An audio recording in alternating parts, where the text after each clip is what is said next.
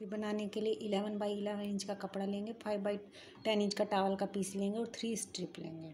अब क्या करेंगे, इसको उल्टा रखेंगे और चारों तरफ़ इस तरीके से रख के इसको सिलाई लगा लेंगे। ये सिलाई मैंने लगा ली है। अब इसको सीधा रखेंगे और यहाँ कोनों पर दोनों स्ट्रिप को, लंबी वाली को जो सेवन इंच की है, उसको अटैच कर लेंगे। अब इसको इस तरीके से फोल्ड करेंगे और यहाँ तक सिलाई लगा लेंगे। यहाँ बीच में सिलाई नहीं लगानी है यहाँ पर। यहाँ से हम इसको सीधा करेंगे और ये मैंने सीधा कर लिया है।